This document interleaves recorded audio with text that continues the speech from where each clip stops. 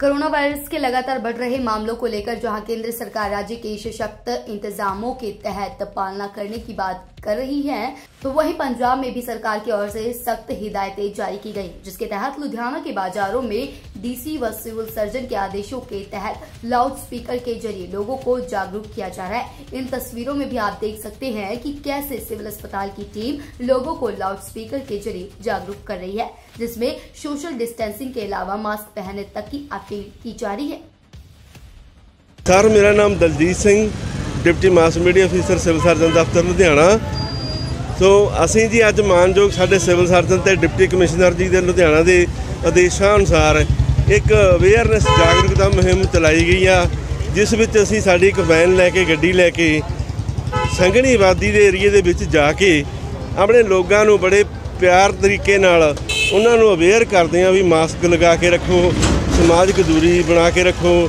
ਤੇ ਹੱਥਾਂ ਨੂੰ ਪ੍ਰੋਪਰ ਤਰੀਕੇ ਨਾਲ ਹੈਂਡ ਵਾਸ਼ ਕੀਤਾ ਜਾਵੇ।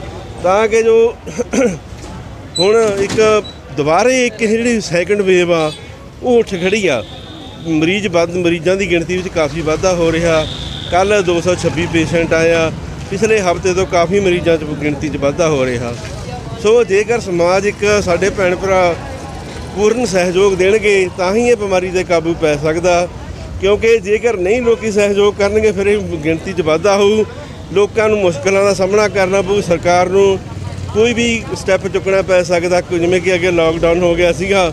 ਉਸ ਦੇ ਵਿੱਚ ਲੋਕਾਂ ਦੇ ਕਾਰੋਬਾਰ ਠੱਪ ਹੋ ਜਾਂਦੇ ਨੇ, ਫਿਰ ਲੋਕਾਂ ਨੂੰ ਮੁਸ਼ਕਲ ਖੜੀ ਹੋ ਜਾਂਦੀ ਆ ਸੋ ਅਗਰ ਜੇਕਰ ਲੋਕ ਆਪਣੇ ਆਪ ਦਾ ਸਹਿ- ਫਰਜ਼ ਨਿਭਾਉਂਦੇ ਹੋਏ ਸਹੀ ਤਰੀਕੇ ਨਾਲ ਪਾਲਣ ਕਰਨਗੇ ਸੈਨੀਟਾਈਜ਼ਰ ਦੀ ਵਰਤੋਂ ਕੀਤੀ ਜਾਵੇ ਸਮਾਜਿਕ ਦੂਰੀ ਬਣਾਈ ਜਾਵੇ। ਅਕਸਰ ਦੇਖਣ ਵਿੱਚ ਆਇਆ, ਸਾਡੇ ਜਿਹੜੇ ਸ਼ਾਪਕੀਪਰ ਨੇ, ਦੁਕਾਨਦਾਰ ਲੋਕ, ਭੈਣ ਭਰਾ, ਉਹ ਵੀ ਇਹ ਗੱਲਾਂ ਦੀ ਪਾਲਣਾ ਥੋੜੀ ਜਿਹੀ ਕੁਝ ਘੱਟ ਕਰ ਰਹੇ ਨੇ। ਕਿਉਂਕਿ ਦੇਖਿਆ ਹੁਣ ਅਸੀਂ ਇਸ ਬ- ਬਾਜ਼ਾਰ ਦੇ ਵਿੱਚ, ਬਾਜ਼ਾਰ ਵਿੱਚ ਅਕਸਰ ਘੁੰਮ ਕੇ ਦੇਖਿਆ ਦੁਕਾਨਦਾਰ ਭਰਾ ਵੀ ਲੋਕਾਂ ਨੂੰ ਕਾਫੀ ਕਾਫੀ ਇਕੱਠੇ ਕਰੀ ਅੰਦਰ ਬੈਠੇ ਆ। ਜੇਕਰ ਉਹ ਇੱਕ ਸਮਝਦਾਰੀ ਤੋਂ ਕੰਮ ਲੈਣ ਤਾਂ ਰੋਕੀ ਜਾਣ ਵੀ ਥੋੜਾ ਜਿਹਾ ਟਰਨ ਬਾਈ ਟਰਨ ਆਵੋ ਜਾਂ ਕੰਮ ਇੱਕ ਦਾ ਹੁੰਦਾ, ਨਾਲ ਦੋ ਤਿੰਨ ਵਿਅਕਤੀ ਬੈਠੇ ਹੁੰਦੇ ਆ। 10 ਰਿਪੋਰਟ ਜਨਹਿਤੇਸ਼ੀ ਨਿਊਜ਼।